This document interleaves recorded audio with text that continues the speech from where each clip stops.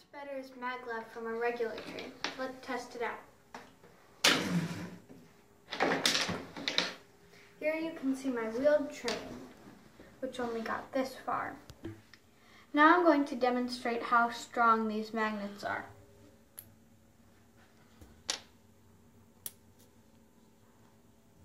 And Now there are magnets on the bottom of the maglev train, which are faced in the opposite direction as these.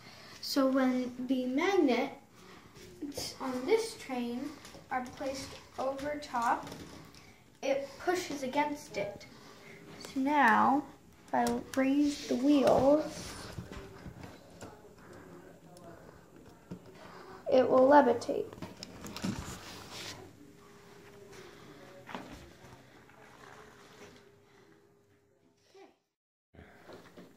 This is how far the train with no magnets but wheels down got.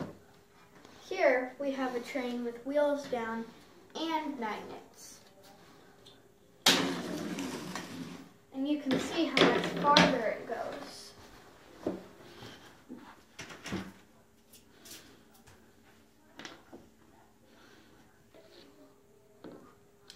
This is a train with the wheels up and the magnets here. So it's going to be full maglev. And you can see how much farther it goes than all the rest. It even hit the back of the track. My conclusion is that maglev is better than a regular train, but even a regular train has uh, is impacted by maglev.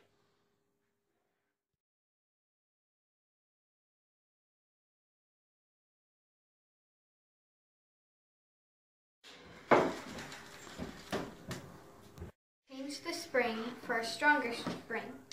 The uh, speed of the train is affected by propulsion it receives. Now, because of the stronger spring, the train will receive more propulsion.